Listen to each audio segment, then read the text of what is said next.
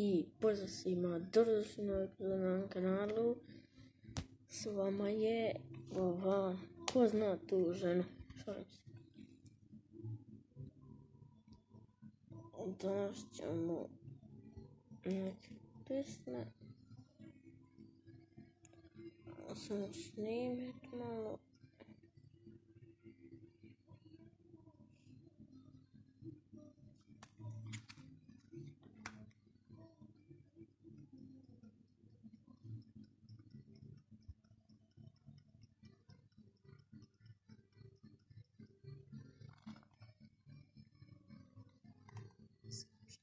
Da, ako vas zanima na čemu uh, trenutno kurac, na uh, čemu trenutno snimam, te snimam sa telefonom i sa kamerom, tamo je, ako ne vidite, tamo stoji. Da, snimam sa tom kamerom nekad, to je GoPro kamera, platio sam je, ne znam sad kako sam platio, nisam je kupio, imam tamo još jednu kameru, a ne da mi se sad stati.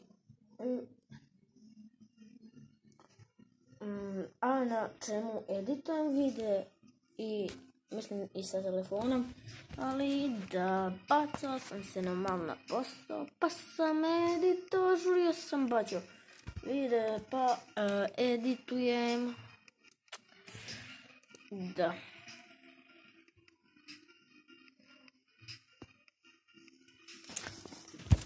Ka, sad pitanje što mi je neko postaje. Kad se počeo baviti YouTube-om?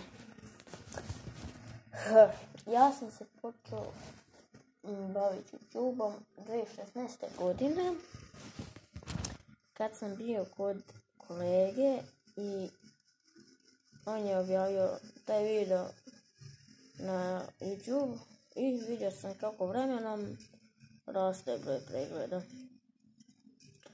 I došao je taj dan, sam se ja opredelio. Se, ne da u telefon, gledam vamo. Da, došao je taj dan kad sam se opredelio da i ja počnem da snimam za ovaj YouTube. E, počeo sam da snimam,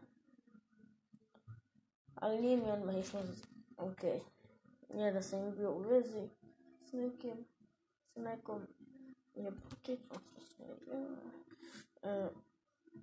pa, pa počeo sam snimati, nisam odmah bio ideje, bio sam ono, nula postojići ugao, a onda mi je stizala ideja.